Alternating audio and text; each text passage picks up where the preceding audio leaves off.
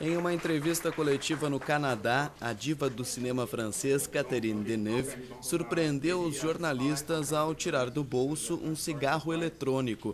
Esse tipo de cigarro é uma alternativa ao de verdade. Ele não tem cheiro e não queima. Para imitar o real, acende uma luz como se fosse a brasa e emite uma fumaça inodora. Em março deste ano, em entrevista coletiva em Madrid, a atriz foi advertida depois que acendeu um cigarro normal. Ela disse que não iria pagar e que, se fosse preciso, pagaria a multa imposta para quem fuma em locais públicos na Espanha. Três meses depois, um hotel de São Paulo foi multado por desrespeitar a lei antifumo após a atriz ser vista fumando no local.